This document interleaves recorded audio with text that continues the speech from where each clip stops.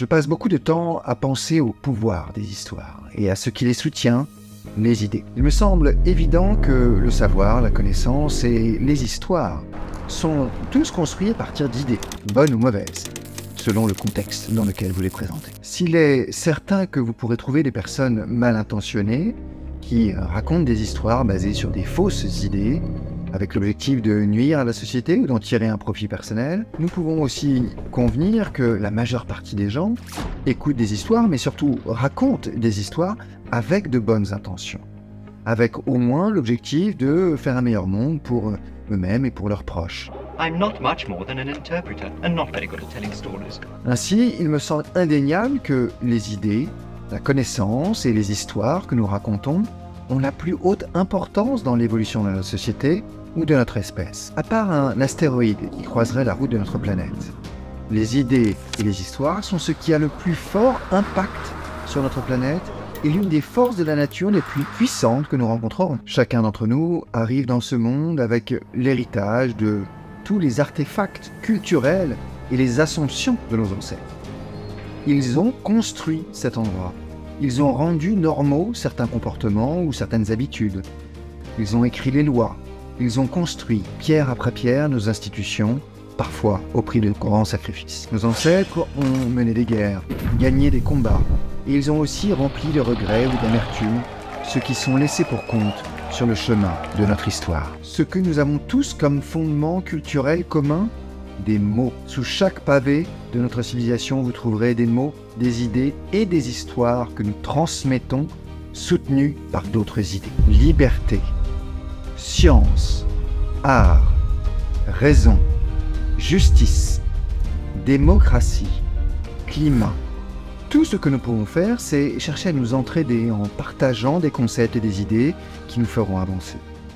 Notre capacité à résoudre des problèmes de manière collective sera toujours plus grande si nous savons raconter de meilleures histoires, si nous savons raconter des histoires plus proches de la vérité, si tant est qu'il soit possible d'approcher une vérité. Vous voulez raconter des histoires avec vos photographies?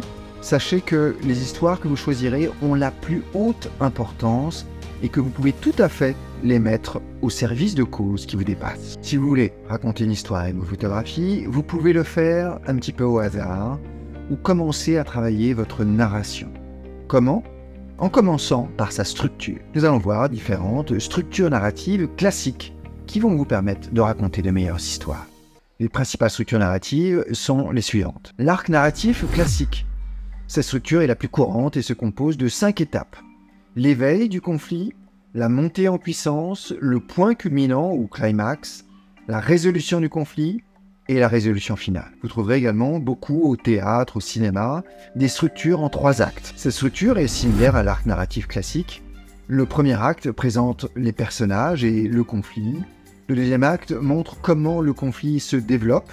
Et le troisième acte montre comment il est résolu et les conséquences ou les morales de cette histoire. Vous trouverez enfin la structure circulaire. Dans cette structure, l'histoire revient au point de départ, créant ainsi un effet de boucle ou de cercle. Nous avons vu dans une précédente vidéo la structure circulaire de Dan Harmon, appliquée au projet et au livre d'Alexos, Sleeping by Mississippi. Je vous renvoie à cette vidéo si vous voulez explorer plus avant cette structure narrative. La structure narrative dite circulaire de Harmon est basée sur le principe du monomythe de Joseph Campbell. Une autre manière de structurer une histoire va être d'utiliser les 22 règles du storytelling établies par Pixar le studio d'animation réputé pour ses histoires fascinantes, originales et universelles. Pour vous montrer comment est-ce que cela fonctionne, je ne vais pas vous expliquer en détail les 22 règles de Pixar. Je vais simplement prendre la première règle et voir comment est-ce que je peux l'appliquer à une de mes histoires de photographe. Nous avons vu dans la précédente vidéo que le photographe fait partie de ses photos, que son histoire personnelle ou son engagement public est compris dans l'histoire de ses photographies. Vous pouvez très bien développer un reportage ou un documentaire qui a sa propre histoire. Mais si vous apprenez à mieux raconter votre histoire comme photographe, vous donnez plus de chances à vos photographies pour qu'elles aient un impact et qu'elles trouvent un public. La première règle du storytelling de Pixar est la suivante. On admire plus un personnage pour avoir essayé que pour ses succès.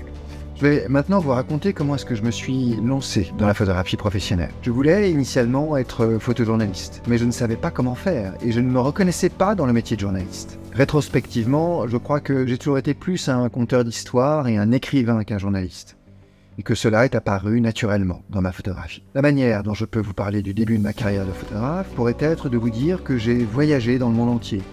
À New York, à Londres, à Hong Kong, à Singapour et à Shanghai, je pourrais vous dire que je partais d'un de mes rendez-vous dans la Rolls-Royce spécialement conçue pour les hôtels Shangri-La. Tout cela est absolument vrai.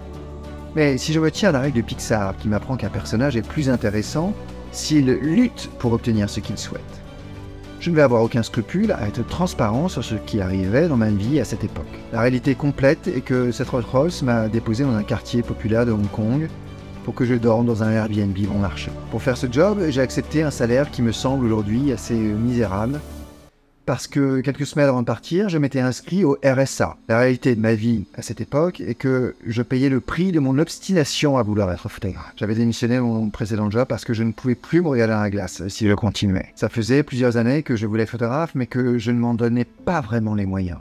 Ce qui est vrai, c'est que je me suis servi de cette expérience, de ce client et de ce voyage, qui se déroulait en deux fois et étalé sur trois mois, pour annoncer partout sur mes réseaux que j'étais photographe professionnel. Cette annonce m'a amené mes premiers clients. J'en ai pris d'autres, souvent gratuitement, pour constituer mon portfolio.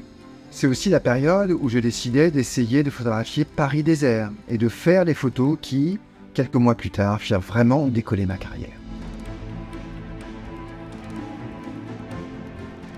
En vous racontant ces difficultés, mon histoire n'est pas une histoire d'orgueil et de réussite exemplaire.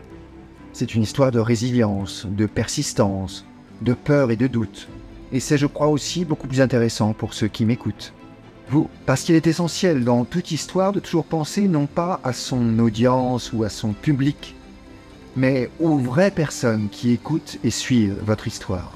Ce sont eux qui partagent ces doutes, qui partagent ces peurs et ces difficultés dans leur vie à eux et qui n'ont pas besoin d'entendre un photographe qui euh, flex avec euh, ses photographies ou son matériel. D'ailleurs, la deuxième règle du storytelling de Pixar est la suivante.